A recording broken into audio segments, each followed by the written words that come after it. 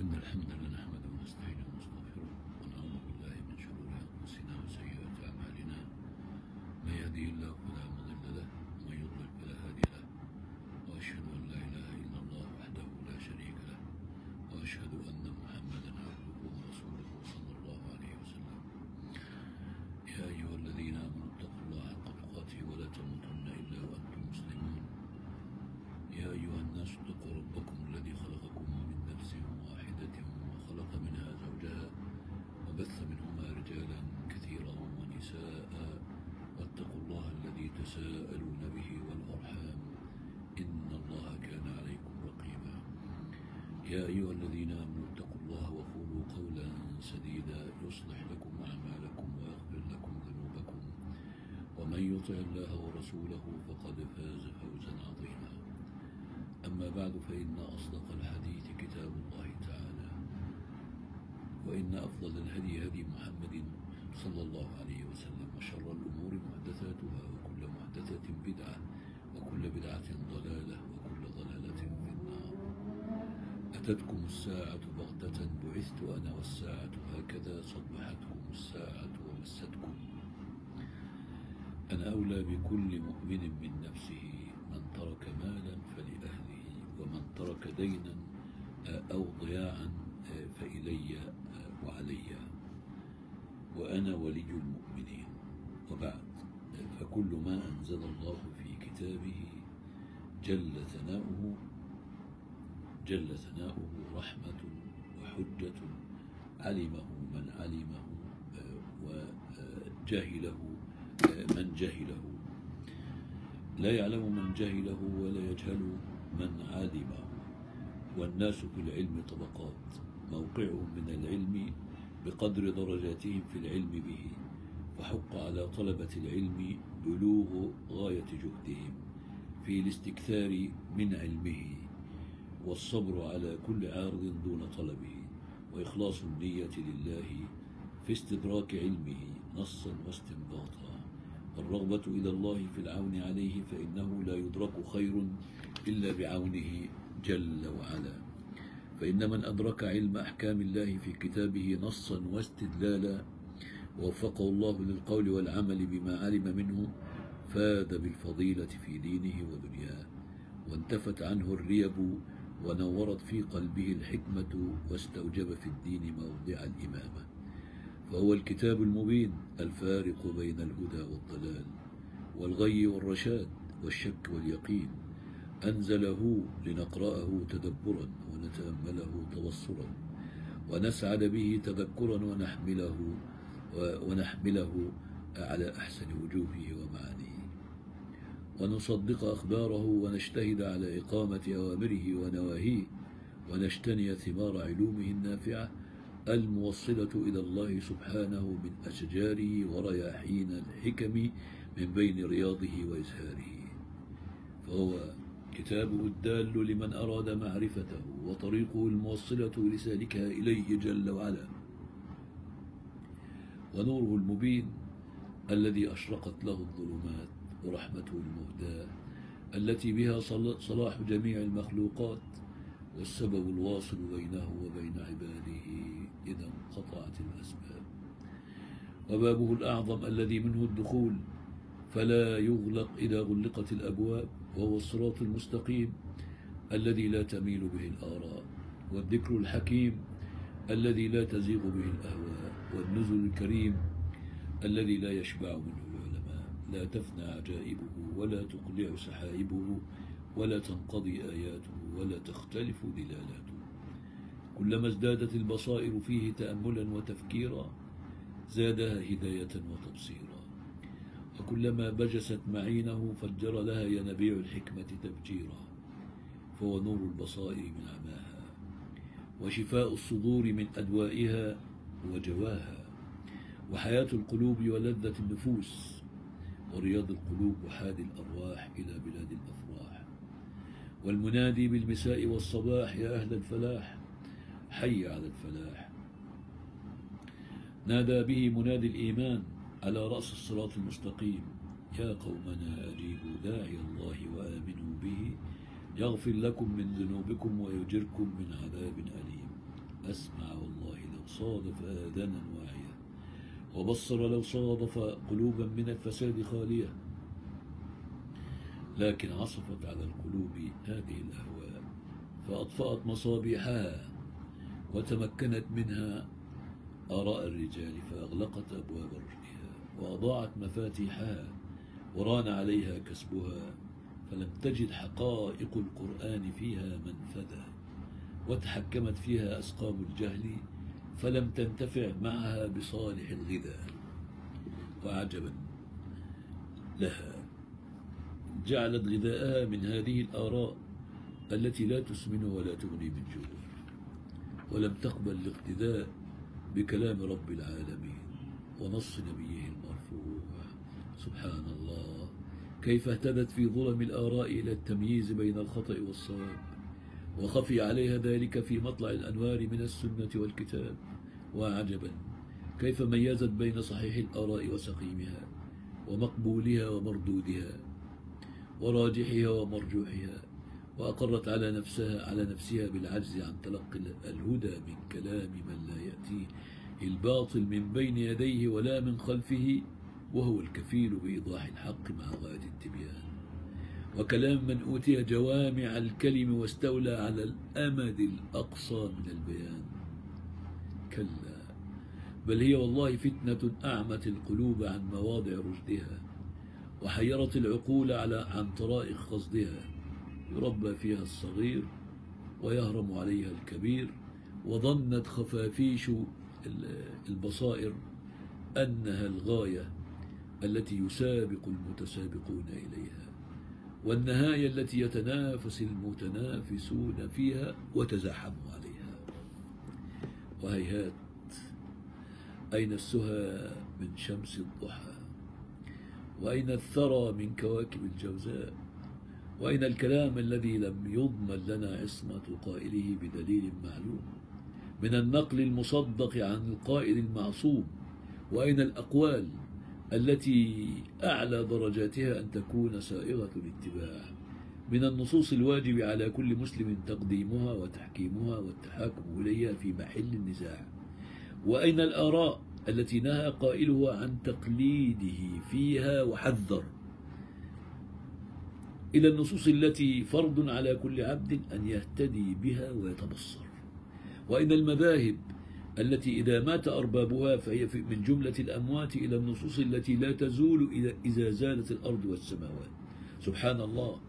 ماذا حرم المعرضون عن نصوص الوحي واقتباس العلم من مشكاتها من كنوز الذخائر وماذا فاتهم من حياة القلوب واستنارة البصائر؟ قنعوا بأقوال استنبطها معاول الآراء فكرا وتقطعوا أمرهم بينهم زبرا.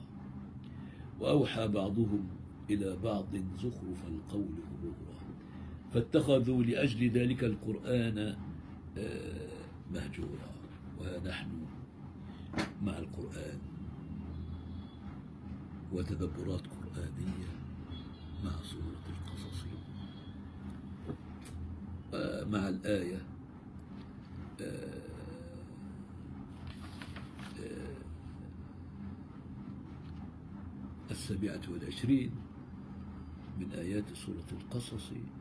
قال إن إني أريد إني أريد أن أنكحك إحدى ابنتي هاتين على أن تأجرني ثمانية حجج فإن أتممت عشرا فمن عندك. وما أريد أن أشق عليك. ستجدني إن شاء الله من الصالحين. ما زلنا مع الإمام القرطبي والجامع لأحكام القرآن.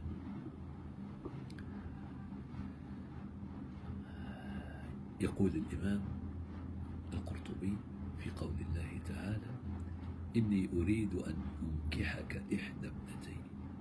إني أريد أن أنكحك الآية. فيه عرض الولي بنته على الرجل وهذه سنة قائمة. عرض صالح مدين على صالح بني إسرائيل وعرض عمر بن الخطاب ابنته حفصة على أبي بكر وعثمان. وعرضت الموهوبة الموهوبة نفسها على النبي صلى الله عليه وسلم. وضحنا المسألة في المرة السابقة. آه، آه، فمن الحسن عرض الرجل وليته والمرأة نفسها على الرجل الصالح. اقتداء بالسلف الصالح. الذي غاب ذكره في واقعنا وغاب سمته وغاب هديه. إلا من رحم ربي. واضح إخواني؟ آه قال عمر بن الخطاب لما تأيمت. واضح؟ لما يعني آه تأيمت. تأيمت المرأة أي مكثت بلا زوج. لما تأيمت حفصة قال عمر لعثمان إن شئت أنكحك حفصة بنت عمر. حديث انفرد بإخراجه البخاري في صحيحه وهو في, مسند الإمام أحمد. وأما حديث الموهوبة نفسها فأخرجه الإمام أحمد والبخاري ومسلم من حديث سهل بن سعد. وهذه المسألة والتي قبلها كما وضحنا يعني آه، ذكرها ابن العربي في أحكام القرآن. آه، قال الإمام ابن العربي في في كتابه آه، أحكام القرآن قال علماؤنا في هذه الآية يعني دليل يعني دليل على أن النكاح إلى الولي لا حظ للمرأة فيه لأن صالح مدين تولاه قال فقهاء الأمصار وقال أبو حنيفة لا يفتقر النكاح إلى ولي وع- وعجبا له. ده الإمام ابن العربي بيقول مش إحنا بنقول متى رأى امرأة قد عق- عقدت نكاح نفسها؟ إمتى الكلام ده. ده كلام الإمام ابن العربي ومن إحنا ما نقدرش نقول له ولا حتى حرف من الكلام ده. على أسيادنا والقمم الشامخة. يعني الناس اللي هم حملوا وحفظوا كانوا أسبابا من أعظم الأسباب في حفظ هذا الدين. يعني ومن المشهور في الآثار لا نكاح إلا بولي رواه داود والترمذي وابن ماجه وأحمد. صحاب الشيخ الألباني وقال النبي صلى الله عليه وسلم آه، أيما امرأة نكحت نفسها بغير إذن وليها فنكاحها باطل فنكاحها باطل فنكاحها باطل. فإن مسها فلها المهر بما استحل من فرجها. يعني فإن اشتجروا فالسلطان فالسلطان ولي من لا ولي له. عن سيدة عائشة ومشكاة المصابيح وصحاب الشيخ الألباني نعود إلى كلام الإمام القرطبي في كتابه أحكام ال- الجامع لأحكام القرآن يقول الإمام القرطبي هذه الآية تدل على أن. تدل على أن الأب يعني أن لل- للأب أن يجو أن يزوج. يعني أن يزوج إيه إخواني؟ أن يزوج بنته. يعني البكر البالغ من غير استئمار. يعني وبه قال مالك. واحتج يعني واحتج بهذه الآية وهو ظاهر قوي في الباب واحتجاجه بما يدل على أنه كان يعول على الإسرائيليات كما تقدم وبقول مالك في هذه المسألة قال الإمام الشافعي وكثير من العلماء وقال الإمام أبو حنيفة إذا بلغت الصغيرة فلا يزوجها أحد إلا برضاها لأنها بلغت حد التكليف.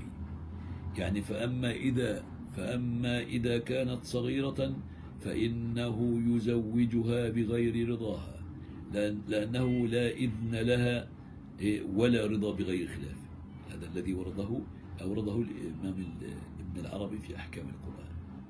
يقول الإمام استدل أصحاب الشافعي بقوله تعالى إيه، إن أريد إني أريد أن أنكحك على أن النكاح موقوف على لفظ التزويج والإنكاح.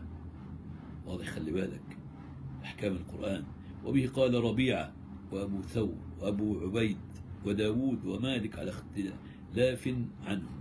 وقال علماؤنا في المشهور يعني واضح إخواني ينعقد النكاح بكل لفظ الملكية. وقال أبو حنيفة ينعقد بكل لفظ يقتضي التمليك على التأبيد. مش مؤقت يعني. أما الشافعية فلا حجة لهم في الآية.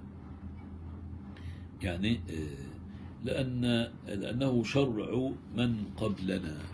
يعني وهم لا لا يرونه حجة حجة في شيء في المشهور عندهم.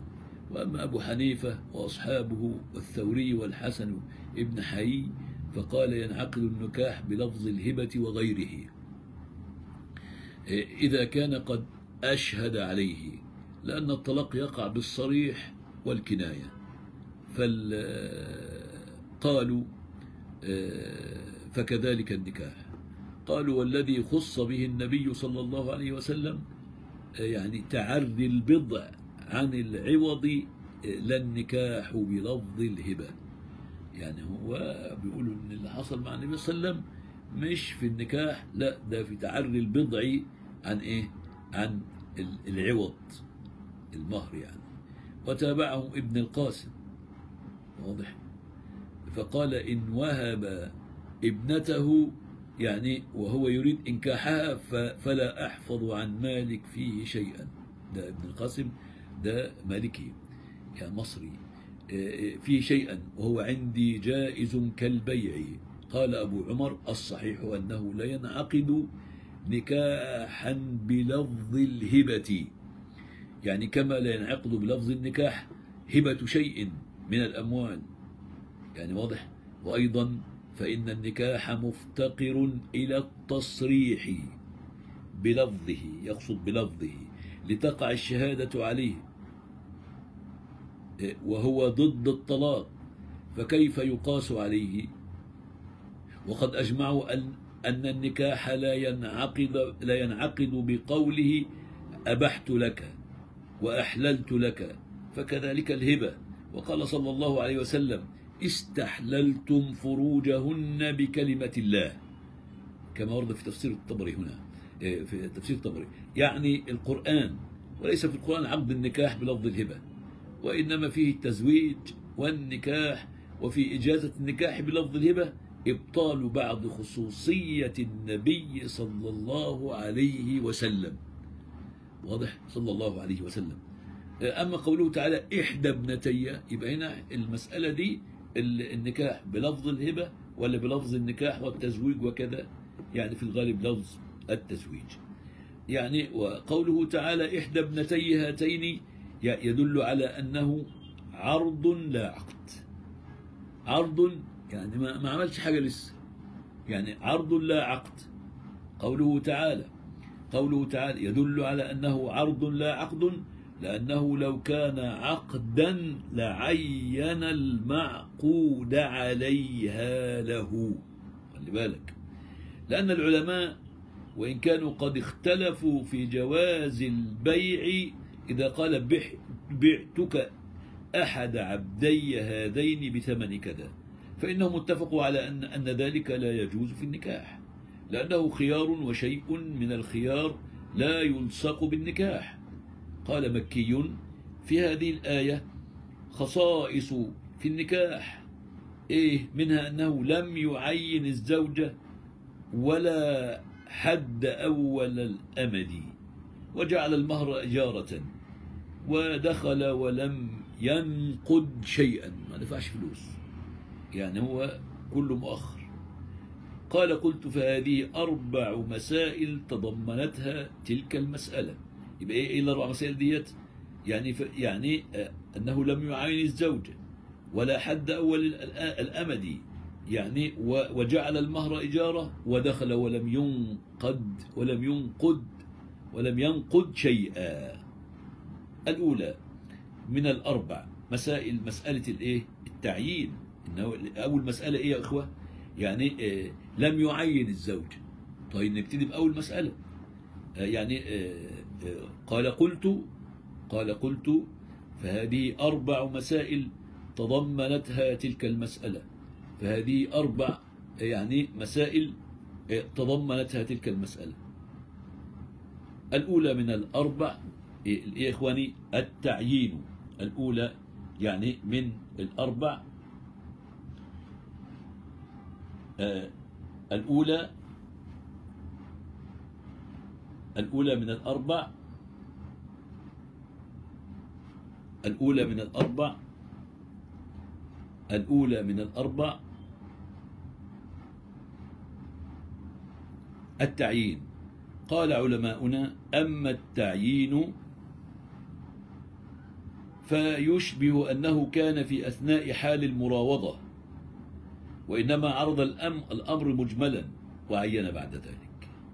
وقد قيل إنه زوجه صفوريا وهي الصغرى. يروى يعني عن أبي ذر قال قال لي رسول الله صلى الله عليه وسلم إن سئلت أي أي الأجلين قضى موسى فقل خيرهما وأوفاهما. وإن, وإن سئلت أي المرأتين تزوج فقل الصغرى. وهي التي جاءت خلفه وهي التي قالت آه، يعني يا أبت استأجره إن خير من استأجرت القوي الأمين. قيل إن الحكمة في تزويجه الصغرى آه، منه قبل الكبرى. إخواني؟ الصغرى قبل الكبرى آه،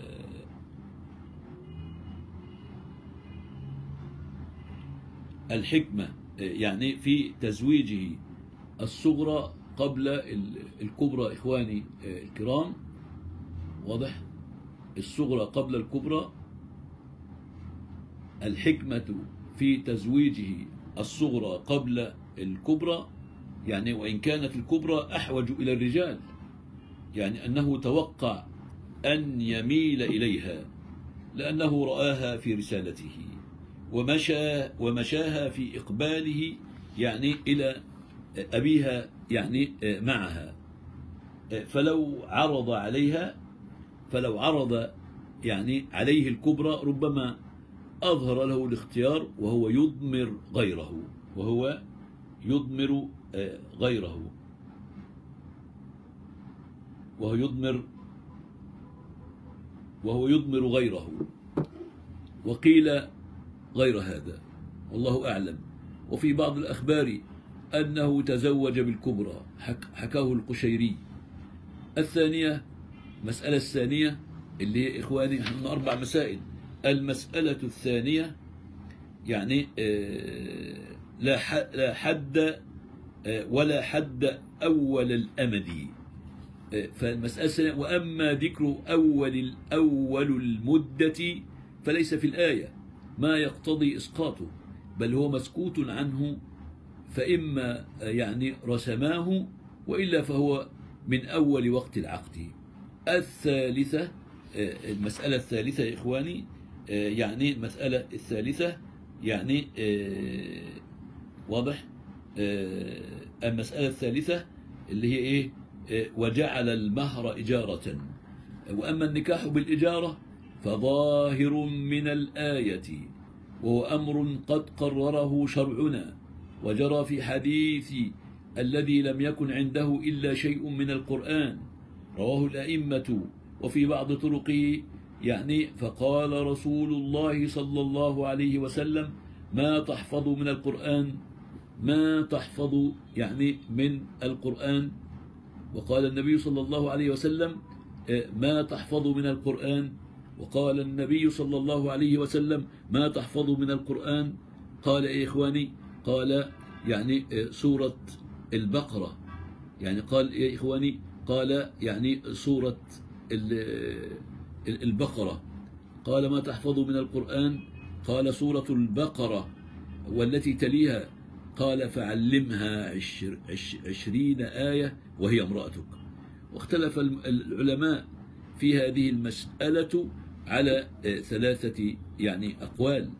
فكرهه مالك ومنعه ابن القاسم وأجازه ابن حبيب. وهو قول الشافعي وأصحابه. قالوا يجوز يعني أن تكون منفعة الحر يعني صداقا كالخياط كالخياطة والبناء وتعليم القرآن.